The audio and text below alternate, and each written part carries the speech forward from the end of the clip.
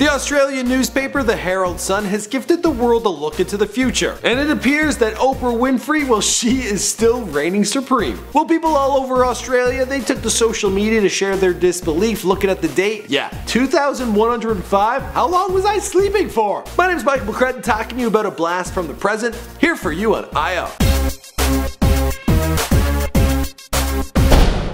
I want to hear from you guys. What do you predict the future will be like 90 years from now? Some of you will still be alive. Me, probably not. I live like a rock star.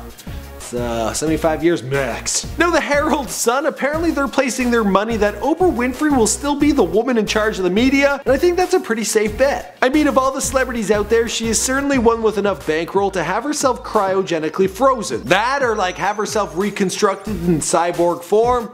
That way she could be going around giving away hoverboards. You're getting a hoverboard, you're getting a hoverboard, you're getting a flying car. That would be season 2105. It makes sense. Will this mess up of date, this time travel experience, it all comes down to just a simple typo. Now, the Herald Sun, they have yet to comment, they have yet to do a recall.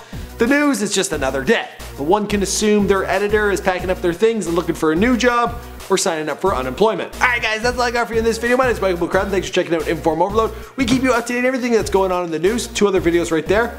Click on one. Why wouldn't ya? Also hit subscribe and I'll see you guys in the next one.